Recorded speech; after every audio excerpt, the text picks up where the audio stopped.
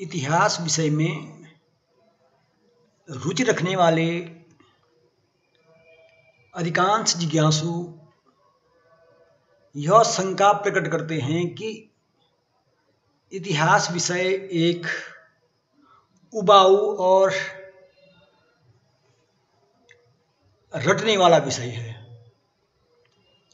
वे बार बार शिकायत करते हैं कि इतिहास में घटनाओं को, उनके वर्ष, उनकी तिथियाँ आदि को रटना पड़ता है और उन्हें कैसे याद रखें, यह एक बड़ी समस्या है। मेरे कई विद्यार्थी बार बार पूछते हैं कि हम इतिहास में वर्ष और तिथियों को कैसे याद रखें। मैं आज इस बिंदु पर प्रकाश डालना चाहूँगा कि इतिहास विषय में घटनाओं की तिथि और वर्ष को याद रखना उतना महत्वपूर्ण नहीं है, जितना कि उन घटनाओं के महत्व को समझना। अगर हम किसी घटना का अध्ययन करते हैं और उस ऐतिहासिक घटना के महत्व को भली भांति समझते हैं तो मैं समझता हूँ कि हमें स्वतः ही उस घटना का वर्ष याद हो जाएगा। जब हम उसके महत्व को समझ जाएँगे तो फिर हमें अलग से उसे रटने की आवश्यकता नहीं पड़ेगी। मैं एक छोटा सा उदाहरण देकर समझाना चाहता हूँ। जब हम किसी विषय किसी वस्तु आदि से अपना अटैचमेंट कर लेते हैं। कोई वस्तु, कोई विषय, कोई मित्र, कोई व्यक्ति जब हमारे लिए महत्वपूर्ण हो जाता है तो फिर उसके बारे में हमें समझने, जानने या उसकी रुचियों को परखने, उसकी पसंद, नापसंद को समझने में हमें कोई कठिनाई नहीं होती है। मैं पहले भी अपने विद्यार्थियों को बार बार ये तथ्य समझा चुका हूँ कि अगर हमें किसी व्यक्ति में, किसी वस्तु में रुचि है तो फिर उसके बारे में हम स्वतः ही जान लेते हैं और जो जानकारी हम प्राप्त करते हैं, उसके हमें याद रखने के लिए अलग से प्रयास नहीं करना पड़ता है। मैं बहुत बार कहता हूँ यदि कोई व्यक्ति आपको बहुत प्रिय है तो आप उस प्रिय, अपने प्रिय व्यक्ति के बारे में बहुत सारी जानकारी ऐसे जुटा लेते हैं और वो, वे जानकारियाँ आपको ऐसे याद हो याद हो जाती हैं कि आपको अलग से कभी भी अपने मस्तिष्क पर ज़ोर देना नहीं पड़ता है। क्या आपने कभी सोचा है कि जो आपका प्रिय मित्र प्रिय सहेली है, उसके बारे में उसकी आदतें, उसकी रुचियाँ, उसकी पसंद नापसंद, उसके घर, परिवार आदि के बारे में आप बहुत सारी जानकारियाँ जानते हैं। और आपने कभी इस बात पे गौर किया है कि आपने कभी भी उसके बारे में इन जानकारियों को याद करने का प्रयास नहीं किया है? ये स्वतः ही आपको याद हो गई है। क्यों? क्योंकि आपकी उस व्यक्ति में, अपने मित्र में, अपनी सहेली में रुचि है। और जहाँ रुचि है, जहाँ आकर्षण है, वहाँ फिर दिमाग पर अतिरिक्त ज़ोर देने की आवश्यकता ही नहीं पड़ती है।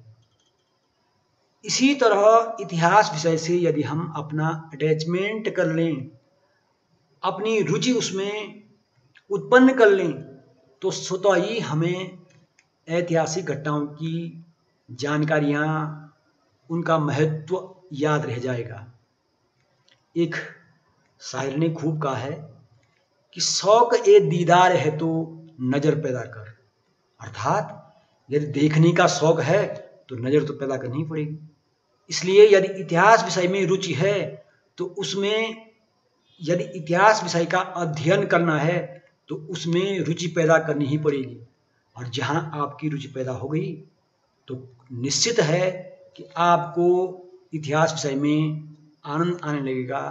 आप उन ऐतिहासिक घटनाओं के महत्व को समझने लगेंगे और स्वतः ही आपको याद होने लगेंगे। फिर भी एक वैज्ञानिक दृष्टिकोण से मैं आपको कुछ चीज़ें बताना चाहूँगा कि किस तरह हम ऐतिहासिक घटनाओं को इतिहास के महत्वपूर्ण संदर्भों को याद रख सकते हैं। इसके लिए उदाहरणार्थ, अगर हम भारतीय इतिहास की बात करते हैं तो हमें सर्वप्रथम भारतीय इतिहास के कालक्रम को समझना पड़ेगा। और इसके लिए हम सबसे पहले ये समझना चाहेंगे कि भारत के इतिहास को सामान्यतया हम तीन भागों में बांटते हैं। और इस तरह हम तीनों कालखंडों को सबसे पहले समझने का प्रयास करेंगे। जैसे भारतीय इतिहास का जो काल विभाजन है, उसमें पहला भाग है प्राचीन भारत का इतिहास, जो सामान्यतया प्रारंभ से 1200 सौ ईस्वी तक हम उसका अध्ययन करते हैं। ये हो गया हमारा प्राचीन भारत। प्रारंभ मीन्स प्रारंभ का अर्थ है मानव की उत्पत्ति से और 1200 ईस्वी, या हम ये कहते हैं 1206 ईस्वी तक इसको मान सकते हैं, जहाँ से गुलाम वंश, या जो हम मामलुक वंश कहते हैं, उसका उदय हुआ। तो इस तरह हो गया प्राचीन भारत का इतिहास प्रारंभ से 1206 ईस्वी तक। अब दूसरा खंड आता है मध्यकालीन भारत का इतिहास 1206 ईस्वी से 1707 ईस्वी तक। 1206 में कुतुबुद्दीन ऐबक ने दिल्ली सल्तनत की स्थापना की थी। अर्थात मामलुक वंश, या जिसे हम गुलाम वंश कहते हैं, उसकी स्थापना की थी। और 1707 पर मध्यकाल का अंत माना जाता है, जहाँ जिस वर्ष औरंगज़ेब की मृत्यु हुई थी। तो इस तरह मध्यकालीन भारत क्या हो गया? 1206 ईस्वी से 1707 ईस्वी तक। तीसरा कालखंड आता है आधुनिक भारत का इतिहास। औरंगज़ेब की मृत्यु पर मध्यकाल का अंत माना जाता है और वहाँ से, मानी अर्थात 1707 ईस्वी से और 1950 ईस्वी तक या उन्नीस सौ सैंतालीस ईस्वी तक हम आधुनिक भारत का इतिहास का अध्ययन करते हैं। इस तरह हमने क्या कर दिया? भारतीय इतिहास को तीन कालखंडों में विभाजित कर दिया। अब हमने जब ये तीन कालखंडों में विभाजित कर दिया तो अब हम इतिहास के अलग अलग कालखंड पर आएँगे और उसको समझने का प्रयास करेंगे। अब हम ये लेंगे कि प्राचीन भारतीय इतिहास के अंतर्गत महत्वपूर्ण शीर्षक या महत्वपूर्ण घटनाएँ, महत्वपूर्ण जो बिंदु हैं, वो क्या है? जैसे जब हम प्राचीन भारत का इतिहास कर, प्राचीन भारत के इतिहास का अध्ययन करते हैं तो हम सर्वप्रथम मानव की उत्पत्ति का अध्ययन करते हैं। और यह अध्ययन प्रारंभ होता है पाषाण काल से। हम पाषाण काल का अध्ययन करते हैं और वह भी तीन भागों में। पूर्व पाषाण काल, मध्य पाषाण काल और नव पाषाण काल। फिर हम अध्ययन करते हैं कि किस तरह पत्थर के औजारों का प्रयोग करते करते मनुष्य ने धीरे धीरे तांबे की खोज कर ली थी और फिर हम पाषाण के जो औज़ार थे, उस काल से, पाषाण काल से आगे बढ़ते हुए ताम्र पाषाण काल पर पहुँचते हैं और इस तरह ताम्र पाषाण काल का अध्ययन करते हैं। तांबे का जो उपयोग था, क्योंकि तांबा अत्यंत लचीला होता है, इसलिए मनुष्य ने जब खोज की तो तांबे में कांसा मिला का तांबे में तिल मिला करके कांसा बनाया जाने लगा। फिर कांस्य युग का उदय हुआ और हम कांस्य युग के अंतर्गत हड़प्पा सभ्यता का अध्ययन करते हैं। उसके बाद वैदिक काल, फिर सोलह महाजन पद, फिर मौर्य काल और इस तरह क्रमिक रूप से बढ़ते बढ़ते हम मौर्य काल के पश्चात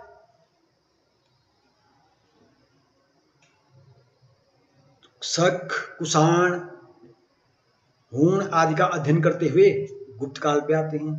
गुप्त काल के पश्चात हर्षवर्धन हर्षवर्धन की मृत्यु के पश्चात भारत का पुनः छोटे छोटे राज्यों में विभाजन, राजपूत युग और राजपूत युग के अंत के बाद बारह सौ ईस्वी में सल्तनत काल का प्रारंभ।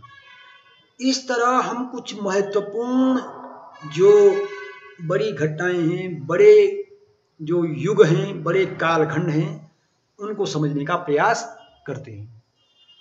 अब हम प्राचीन काल के बारे में अगर और अंदर घुसें तो फिर हम क्रमिक रूप से प्रत्येक बिंदु को समझने का प्रयास करेंगे।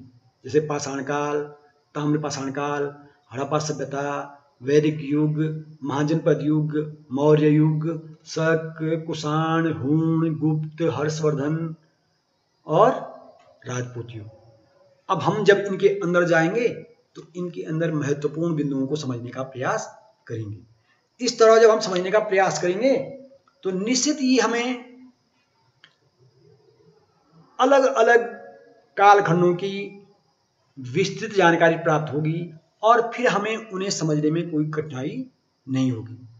एक उदाहरण के द्वारा मैं समझाना चाहता हूँ। माना हम मौर्य काल का मौर्य काल के बारे में जो महत्वपूर्ण घटनाएँ हैं, उनको समझना चाहते हैं। तो हमें मौर्य काल के बारे में जब हम अध्ययन करेंगे तो हमें यह ज्ञात होगा कि किस तरह चंद्रगुप्त मौर्य ने नंद साम्राज्य का अंत करके मौर्य वंश की स्थापना की थी।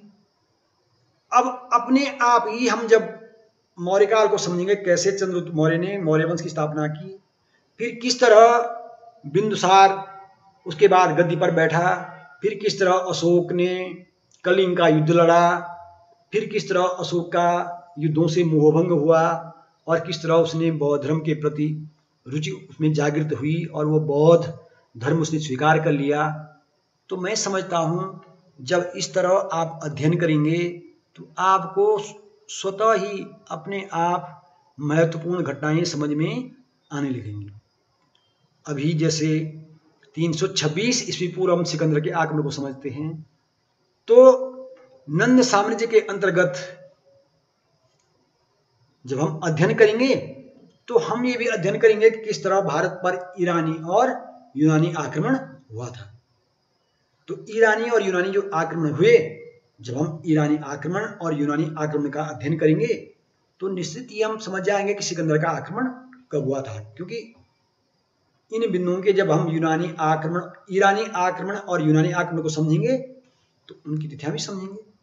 तो मैं समझता हूँ, इस तरह यदि हम मूर्त से अमूर्त की ओर आगे बढ़ेंगे तो यह एक याद रखने का वैज्ञानिक तरीका भी है। और निश्चित ही हम ऐतिहासिक घटनाओं को याद रख पाएँगे और उनका महत्व भी समझेंगे। फिर मैं अगले बिंदु में इस बारे में और जानकारी दूँगा और विस्तृत रूप से इसको समझाने का प्रयास करूँगा। अभी इस तरह अगर आप अध्ययन करने का प्रयास करेंगे तो मैं समझता हूँ, निश्चित ही आप ऐतिहासिक घटनाओं को याद रख पाएँगे और उन्हें समझ पाएँगे।